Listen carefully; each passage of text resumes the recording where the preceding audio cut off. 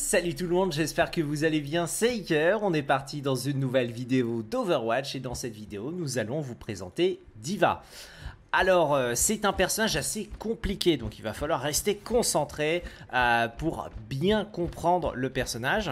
Déjà c'est un tank, c'est un tank qu'on pourrait situer dans les off-tanks si on parlait un petit peu de paladin, c'est un personnage qui est très très très très très fort. Elle a l'une des mécaniques les plus fortes, c'est sa matrice euh, qu'on présentera un petit peu plus tard.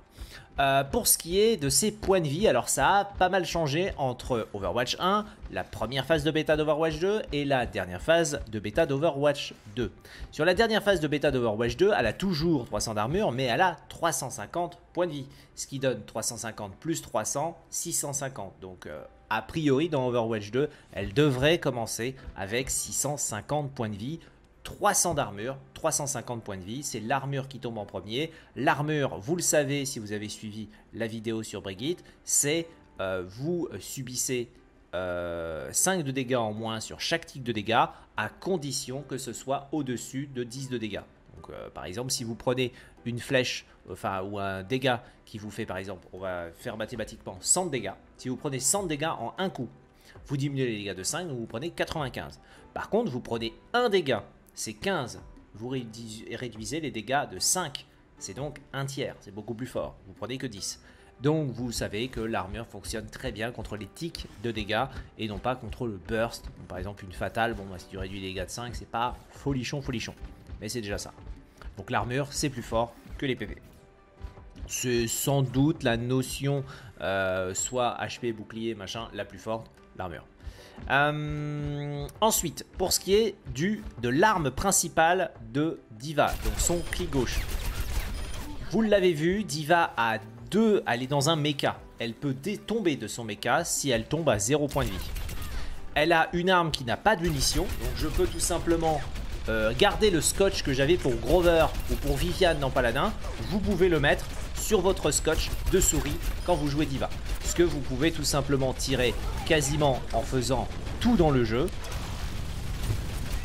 Sauf la matrice qui cancelle votre tir. Voilà. Donc vous allez tirer, tirer, tirer, tirer très souvent. On va parler bien sûr de d'abord des dégâts. Euh, à partir de quand l'arme sert à rien? À partir de 20 mètres. À partir de 20 mètres, vraiment l'arme devient à chier. Euh, et l'arme est plus efficiente quand on est à peu près à 10 mètres de portée ou quand on est très très proche. Là, on va vraiment aligner des dégâts qui sont beaucoup plus, beaucoup plus violents. Donc Diva, on va dire que ça se joue à 10 mètres maximum et en dessous de l'adversaire pour pouvoir faire le maximum de dégâts. Donc ça, c'est le tir d'arme principal de Diva. Euh, on a une autre arme qui sont les missiles que vous pouvez lancer. Alors c'est assez euh, rigolo parce que les missiles fonctionnent pas comme les missiles de Rucus. Vous n'êtes pas obligé euh, de devoir viser le sol, puis reviser la tête, reviser, reviser la tête comme on doit faire dans, dans, dans dans machin chouette, dans, Overwatch, vous pouvez très bien appuyer sur eux et ça va toucher quoi. Voilà, ça, vous pouvez très bien appuyer sur eux, vous n'êtes pas obligé de viser le sol. Les missiles, eux par contre, font les mêmes dégâts suivant toutes les distances. Hein. Donc si je me mets par exemple, vous le voyez, à cette distance là, j'appuie sur eux, il n'y a pas de tir dans la tête des missiles, donc vous pouvez tirer dans le corps, vous voyez qu'il lui reste 3 barres de vie. Donc je le finis très très vite. Ça a 8 secondes de céder les missiles. Ça peut être lancé pendant qu'on vole. Ça peut être lancé pendant qu'on tire. Donc ça, c'est le côté cool. Euh, du personnage, c'est que côté ultra fluide, les, les, deux sorts de gauche et votre tir principal, c'est-à-dire les missiles et votre booster, donc le truc, vous pouvez le lucer en même temps. Donc là, vous voyez, j'étais à 30 mètres, j'ai fait exactement les mêmes dégâts, il reste toujours 3 barres de vie sur l'ennemi. Et si je me mets, ah, croyez-moi, hein, si je me mets le plus loin possible, je vais toujours aligner les mêmes dégâts. C'est juste que ça prend plus de temps parce que c'est un projectile. Donc euh, forcément ça s'utilise plus facilement quand on est près d'un adversaire. Et vu que ça peut s'utiliser en même temps qu'on tire, on aura tendance à vouloir plutôt l'utiliser comme ça. Voilà. Bien joué Iker, t'es mort comme une merde. Mais voilà, euh, c'était juste histoire de montrer que ça burst Diva. Ça peut faire tomber quelqu'un très très vite en termes de points de vie. Euh, voilà ce qu'on peut dire sur les missiles, 8 secondes de CD. On va parler maintenant des boosters. Donc le booster c'est le mage gauche, donc c'est votre sort de déplacement euh, qui dure jusqu'à 2 euh, secondes. Euh, vous pouvez le cancel en rappuyant sur la touche. Ça ne vous dit... En fait c'est juste que le sort passe en cooldown dès que vous allez cliquer sur le, truc. 4 secondes de CD, 2 secondes de booster. 4 secondes de CD, 2 secondes de booster. Vous pouvez pas... Voilà, si je cancel et je rappuie sur la touche, j'ai pas duré 2 secondes. J'ai donc le cooldown qui commence un petit peu plus tôt. Donc si j'ai pas besoin de booster plus longtemps, bah, je rappuie sur la touche pour pouvoir les récupérer. Comme ça, je le récupère le plus rapidement possible. Les boosters ont 4 secondes de CD et vous volez pendant 2 secondes. La particularité euh, du euh, booster, c'est que vous pouvez légèrement, je dis bien légèrement, bump les ennemis. C'est pas le, bump de l'année, mais vous pouvez en théorie faire ça. Hop, et le faire tomber dans le vide. Sinon, les boosters en eux-mêmes font des dégâts. C'est-à-dire, je crois qu'ils font 10 de dégâts, on va vérifier. Boum, là regardez. Oh bah non, il avait déjà pris des dégâts. Euh, je lui ai pas fait tout ça comme dégâts, vous, vous doutez bien. Lui, il est full life.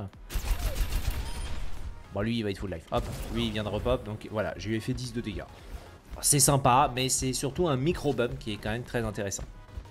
On va maintenant parler de la partie compliquée, les amis. Donc, j'espère que vous allez suivre. Euh, est-ce qu'on parle de la partie BK Non, on parle pas tout de suite de la partie BK. On va parler de la partie matrice. Donc, c'est le sort le plus pété du jeu. Qu'est-ce que c'est la matrice? Bah en fait c'est une sorte de cône alors qu'on voit pas du tout. Mais il faut imaginer que voilà vous, vous voyez il y a une un, petit, euh, un petit carré, un peu d'autre carré, un autre carré. Il faut imaginer que c'est selon la distance ça. Et ça fait une sorte de vortex, euh, c'est une sorte de lampe. Vous imaginez, vous êtes dans le noir, vous mettez une lampe, bah, la lampe elle éclaire, elle a un faisceau comme ça qui éclaire. Et bah la, la matrice de Diva c'est comme ça, c'est comme ça que ça fonctionne. Donc par exemple, lui il vient de mourir, regardez il vient de mourir, il repop, Merde, il prend directement des dégâts, donc je vais le laisser recrever. Lui, je vais le laisser mourir, lui. Regardez, il va mourir. Vous voyez, des projectiles qui sont là. Si j'ai envie qu'il ne meure pas, et eh ben je peux tout simplement utiliser mon truc comme ça, et ça absorbe les balles. Bah, il a pas pris de dégâts. Et donc ça, vous pouvez le faire sur quasiment tout dans le jeu. Un ulti-Phara ne passe pas, un ulti-Faucheur ne passe pas, euh, une, un ulti-Zarya disparaît, euh, l'orbe de Orisa, de Moira pardon, disparaît. Donc voilà, vous pouvez faire comme ça. Vous avez jusqu'à 4 euh, secondes de matrice, donc c'est pas forcément très très long. Une, deux, non c'est plutôt 2 secondes, 2 secondes de matrice, donc c'est quand même assez court. il faut l'utiliser intelligemment.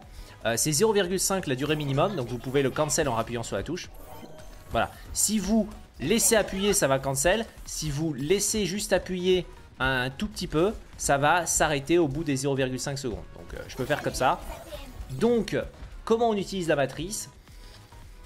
Bah le mieux c'est de ne pas bloquer la totalité des dégâts, c'est de l'utiliser dans les moments importants, vous voyez un spell arriver, donc il va falloir avoir de bons réflexes. Et pour bien jouer Diva, bah faut connaître tous les autres personnages du jeu et savoir tout ce que vous pouvez bloquer. Une orbe de dégâts euh, de Moira bloquée c'est vraiment pas mal, euh, essayez d'éviter des ultis, au départ vous allez plutôt essayez d'utiliser euh, votre, votre, votre matrice comme ça, par des, petits, des petits balbutiements, puisqu'il faut quand même 7 secondes pour récupérer la totalité de votre matrice. Donc vous avez compris que si ça s'active toutes les 0,5, c'est-à-dire si je vais le faire 4 fois comme ça, je vais pouvoir le faire un peu 5 fois, je pense peut-être, voilà, en essayant de balancer un peu. on peut essayer d'économiser et de le garder.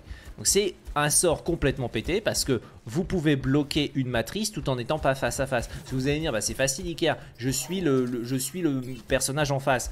Bah, je sais que j'ai une diva en face de moi, je vais attendre qu'elle ait pu utiliser la totalité de sa matrice. Alors déjà, si vous voulez attendre qu'elle ait utilisé sa totalité de sa matrice quand elle fait comme ça, voilà.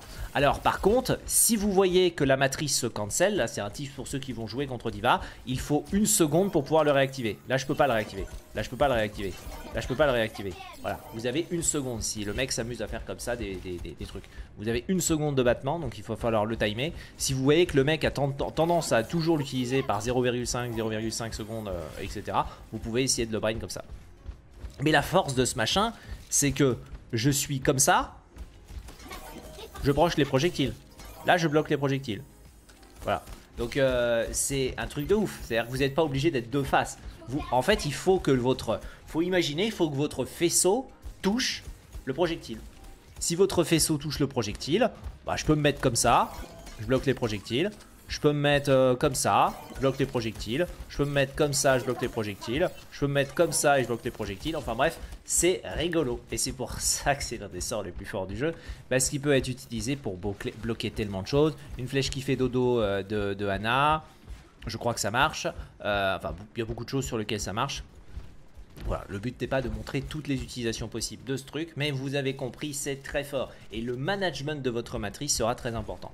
Et c'est le seul sort qui cancelle les autres. C'est-à-dire que je... Euh, alors est-ce que je peux faire ça et faire mes missiles? Oui, on peut le faire. On peut faire les missiles pendant qu'on fait ça, mais on peut pas tirer pendant qu'on fait la matrice. Ça cancelle directement le tir. Et on peut utiliser la matrice tout en volant. Alors ça, je... Oui, on peut faire utiliser la matrice tout en volant. Donc vraiment, il y a ce côté ultra fluide. Je peux faire mes boosters pendant ma matrice. Je peux lancer mes missiles pendant ma matrice. Mais je ne peux juste pas cliquer gauche pendant ma matrice. Donc vous aurez compris, le personnage est très intéressant. Il faut connaître ses CD. Il faut savoir les possibilités qu'on a.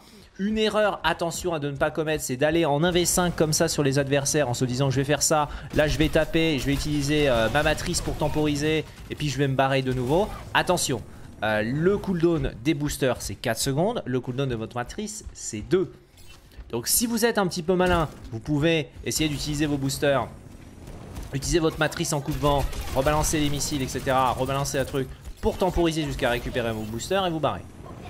Donc euh, Bien évidemment, connaître les CD de, votre personnage est important. Les missiles, ça s'utilise principalement au corps à corps. Et euh, vous allez me dire, c'est quoi le combo de, quoi le combo de, Diva? Bah, Le combo de Diva, c'est euh, je tire, j'utilise mes boosters, j'envoie mes missiles, je mets le coup corps à corps. Parce que le coup corps à corps va burst. Donc on peut vraiment faire très très mal aux personnages dans le jeu et vraiment les tuer très très vite. C'est bien évidemment un personnage qui a besoin d'aim, donc euh, c'est pas fait pour moi, euh, puisqu'il faudra que vous tiriez dans la tête de vos adversaires. Hein. Euh, voilà, faut essayer de tirer dans la tête. Donc on a dit un booster missile tire, voilà, et on le bump et puis il dégage. Donc on peut faire vraiment très très mal avec, avec Diva. Et maintenant, on a vu qu'une partie du personnage, parce que vous avez vu la, la personnage quand Diva est dans son mecha. Maintenant, on va parler de l'ulti, qui en fait entre 100 et 1000 de dégâts. Alors, l'ulti diva, il s'utilise généralement en utilisant les boosters. Parce que si vous utilisez l'ulti diva sans utiliser les boosters, vous allez tout simplement poser, euh, poser sur le sol euh, une bombe qui fait très mal. Euh, si vous aviez votre, votre ulti chargé à 100%, vous passez quand même en ulti vous passez en bébé diva, attention à la 150 PV, ça vous rappelle quelqu'un Oui, ça vous rappelle Tracer. Donc ça crève très très vite une bébé diva. Donc faut faire attention. Elle a un gun qui a 20 munitions. Donc on rappelle que le clic gauche de diva de base n'a pas de munitions. Là vous en avez. Vous avez seulement deux touches avec bébé diva. Votre clic gauche. Bon, vous me direz, il y a le coup corps à corps. Voilà, donc trois touches. Pour les, pour les, pour les, pour ceux qui veulent vraiment qu'on dise tout. Donc vous avez le coup corps à corps bien sûr. Vous avez le clic gauche et vous avez le fait de réactiver votre mecha. Donc si vous aviez votre ulti à 100%, vous appuyez sur l'ulti, vous pouvez, que vous tuiez ou que vous tuiez pas, réactiver votre mecha. Euh, donc je réactive mon mecha, donnée intéressante qui a été modifiée il y a quelques années je crois. Quand je fais, euh, quand je me, quand je retourne dans mon, dans mon mecha, j'ai un AOE de 250 de dégâts, euh, de 2,5 mètres de rayon autour de mon mecha. Donc là par exemple, j'ai raté, je l'ai pas tué. Là, on considère, il doit considérer le jeu que je suis à 3 mètres, donc c'est pas de bol, j'ai pas pu vous montrer, mais on retestera tout à l'heure. Euh, vous voyez que j'ai 25% d'ulti, mais ce qui s'est sans doute passé du temps, et on voit que l'ulti de Diva monte avec le temps, même si je ne fais rien.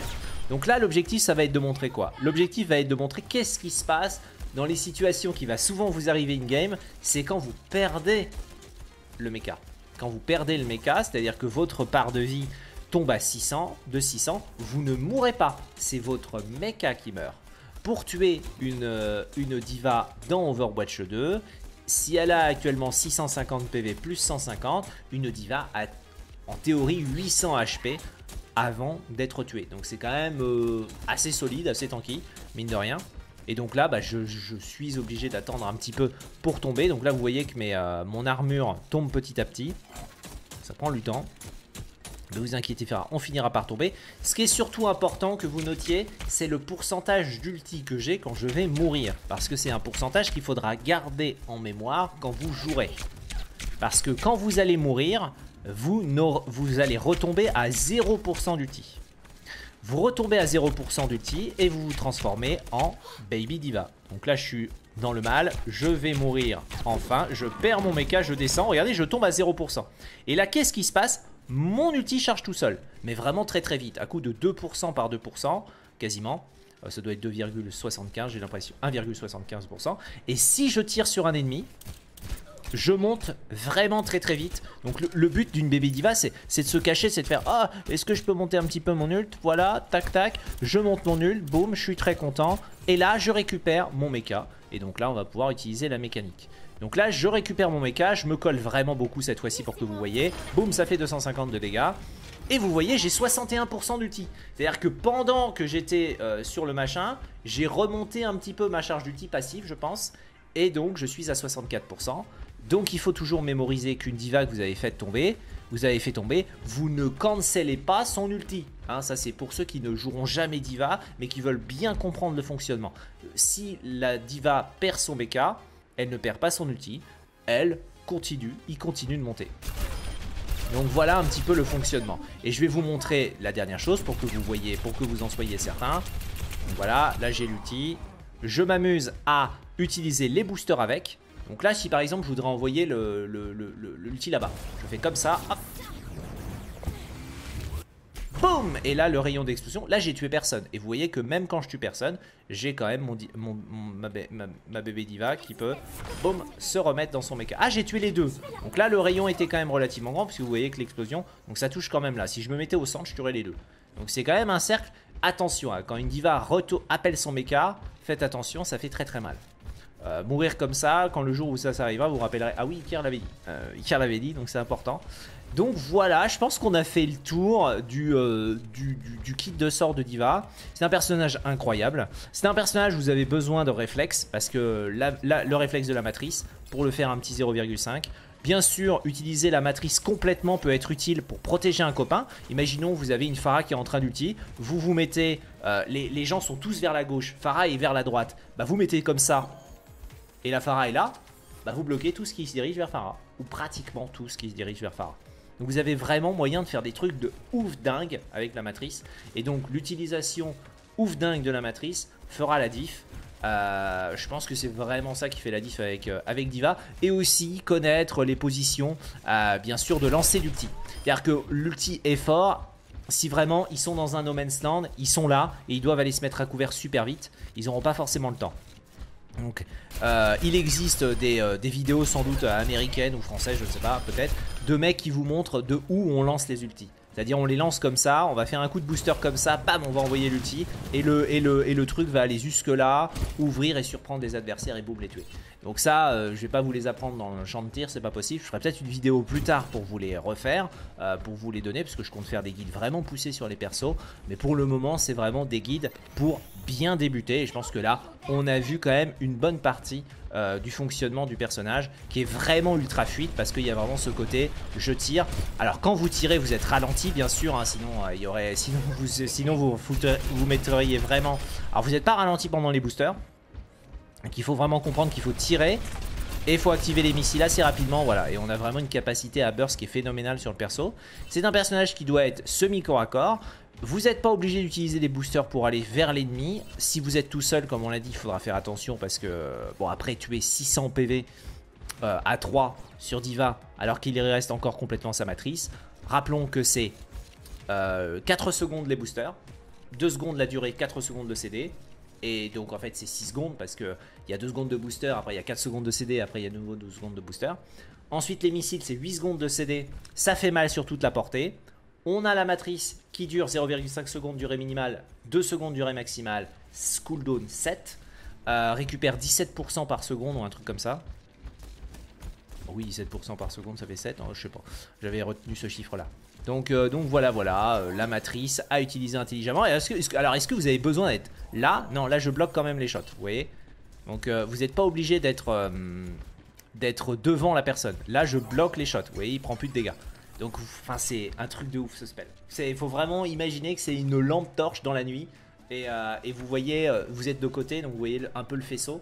Et bah c'est ça en fait, la, matrice, c'est la meilleure image je pense à donner pour le fonctionnement. Euh, même si c'est l'inverse, je pense que c'est plus large au départ et ça rétrécit de plus en plus. Voilà, c'est l'inverse d'une lampe qui, euh, elle, euh, a plutôt tendance à, s'élargir. Voilà, la lumière s'élargit.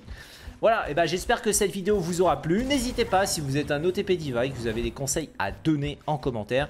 Ici, on est vraiment pour des gens qui ne jouent pas à Overwatch ou qui veulent se préparer ou qui n'ont pas joué depuis plusieurs années. Parce que Diva a quand même changé. Euh, depuis 2016, quand je jouais au jeu, euh, il y a quand même eu quelques changements. Je suis pas sûr que le mecha de, ne faisait 250 de dégâts quand on popait dedans. Ça a été modifié. Euh, il y a pas mal de choses qui ont été modifiées en termes de, de kit de sort sur le perso. Des bisous, ciao et à demain pour la vidéo Overwatch League, bien sûr. Et après, on reprendra les guides. Le prochain personnage après Diva, c'est... Ah, c'est là, je crois que c'est le moment de la grosse série des DPS, puisque normalement, on va voir Echo, Doomfist, on le fait pas parce qu'il change tellement. Echo, Fatal, Faucheur, Genji. Et après Genji, je crois que c'est euh, genre Lucio. Euh, non, il y a encore Anzo. Et ensuite, il y a Lucio. Donc, euh, ouais, on va rester très longtemps sur les DPS.